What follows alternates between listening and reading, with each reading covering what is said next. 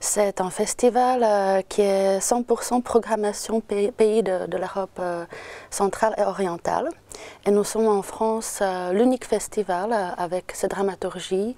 Et nous, nous avons aussi, nous sommes les seuls à avoir une compétition qui est donc composée de ces films-là. En fait, le cinéma de l'Est, je dirais que, et surtout sous notre sélection, c'est un cinéma euh, que nous voulons montrer ici, euh, qui est assez réaliste et qui amène aussi de nouvelles formes de langage, de nouveaux sujets, des, des- des choses qui préoccupent les sociétés. euh. Ça m'a permis de rencontrer des cinéastes, des, des professionnels du cinéma que j'aurais jamais cru pouvoir approcher sans ce festival. Euh, et des rencontres aussi, des rencontres humaines. Le cinéma de l'Est, c'est une culture quand même qui est encore assez peu connue et qui gagne à l'être. Donc euh, pour moi, c'est vraiment euh, des découvertes récentes, des découvertes plus anciennes et euh, à chaque fois, en général, c'est des très beaux moments de cinéma.